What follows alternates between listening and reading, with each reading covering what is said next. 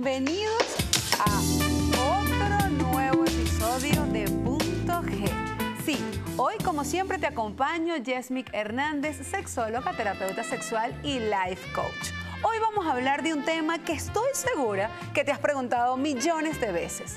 ¿Las fantasías sexuales serán normales? ¿Será algo que debo contar? ¿Cuáles serán las típicas fantasías sexuales femeninas y cuáles serán las masculinas? Pues hoy vamos a comenzar preguntándonos qué es una fantasía sexual. Y por eso te tengo este excelente artículo de un portal muy reconocido a nivel psicológico. Este portal de avances psicológicos dice que las fantasías sexuales son representaciones mentales que creamos basadas en nuestros deseos. En las fantasías eróticas surgen pensamientos e imágenes que provocan una sensación física vivida como placentera. Además, el mundo creativo nos permite canalizar determinadas sensaciones físicas como psicológicas que en determinados momentos no podemos expresar. De esta manera, a nivel erótico, las fantasías cumplen una serie de funciones para nuestra persona, que por ejemplo te voy a decir, y me voy solo con la primera, y es que ayudan al autoconocimiento.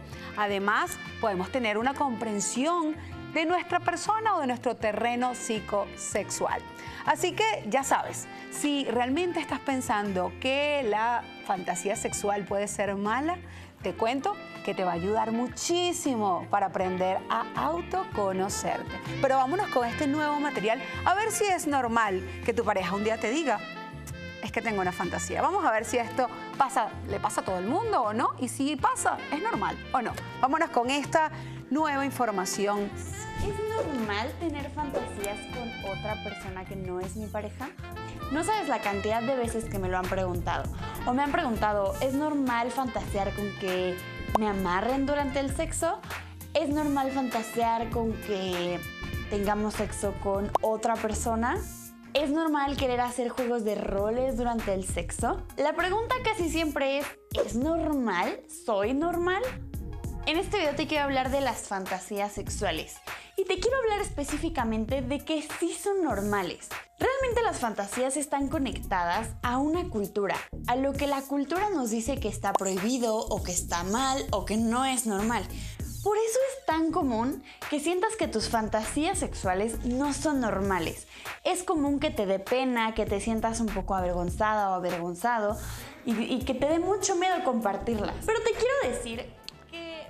Mm, entonces, es normal que la sientas. Es no solo normal, es que le pasa a todo el mundo y podemos tener un abanico de opciones.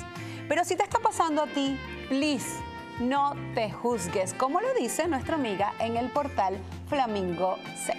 Vamos a ver qué dice ella juzgas y dices, es que tengo baja autoestima, es que quiero que me controlen, es que esto habla de cómo yo soy en mi vida, no vas a poder disfrutar y te vas a estar juzgando. Además, no es cierto, realmente tus fantasías están acá y tu cerebro cuando fantasea y cuando usas esto para erotizar tu mente, no está pensando en llevarlo a la realidad. Ese es un punto importante, las fantasías son para fantasear, son para imaginar no necesariamente para llevarlas a la realidad, porque incluso puede ser que no salgan bien. Ah, entonces el secreto es que no te juzgues y que además lo utilices para tu beneficio. Además de esto, importante saber, ¿será que lo cuento o no lo cuento? Eso lo vamos a hablar más adelante, pero te voy a dar un adelanto para ver si es importante decirlo o no. Vámonos con este material. Las fantasías quiero aclarar una cosa, y es que una cosa es que tú tengas una fantasía sexual y otra muy diferente es que tú la vayas a realizar. Aquí te aconsejo que hagas una lista de pros y contras, porque a lo mejor pues no te sale a cuenta hacerla. También quiero decirte que no es que sean buenas o malas, sino que, bueno, ya para empezar, partiendo de la base de que, que está considerado bien o mal, esto ya depende un poco también de cada persona. Siempre y cuando no le hagas daño a nadie, yo creo que no es algo malo. Eh, lo que esté bien o mal depende más que nada, yo creo que de cada persona. Ajá, entonces ya sabemos que depende si tú lo quieres hacer o no. Sin embargo, de esto vamos a profundizar. Pero no puedes pensar en algún punto que si yo lo digo voy a sentirme juzgada. Primero, piensa tú si eso que vas a decir tiene lógica, porque no es lo mismo estar aquí que estar aquí cuando lo dices. Además, te voy a decir algo. Las fantasías sexuales son como este programa, son el punto G de la mente. Y por eso es que quiero que veas este próximo material. Saludable, recomendable, normal, hace bien a todas las personas. Es importante, de hecho, para que las mujeres puedan relajar en el momento del sexo. Muchas mujeres se bloquean en el momento de las fantasías porque creen que son sucias, que son feas, que representan una orientación sexual distinta de la que tienen, pero yo aseguro, garantizo, las fantasías sexuales son exactamente el punto G de la mente. Las fantasías significan que la mente va a lugares que el cuerpo no necesariamente tiene ideia ou ganas de visitar. Existem fantasias que uno quiere ponerlas en prácticas, diviértese com isso e se excita muitos. Outras não. Outras fantasias são tão escondidas que quando la persona incluso la comenta com outra.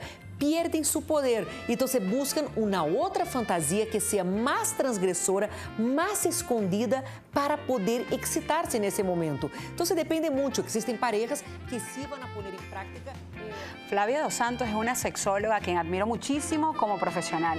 De verdad que siempre ha tenido ese punto importante cuando hablamos de un tema. Y por ejemplo, en el caso de las fantasías, siempre he dicho que realmente son importantes para lograr activar esa creatividad, porque en la mente todo es posible. Además de eso, te voy a contar que lo más importante que pasa o lo que más recurre en mis terapias es la persona que te dice, hey, pero es que yo no tengo deseo.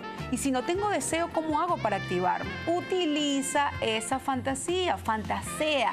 No importa con qué lo hagas, no importa con quién lo hagas. Lo importante es saber si lo vas a comentar o no. Y por eso vamos a hablar en el próximo corte de si lo comentamos, no lo comentamos, estamos en pareja y cuáles son las fantasías más comunes de ellos y de nosotras. Ya seguimos con Punto G.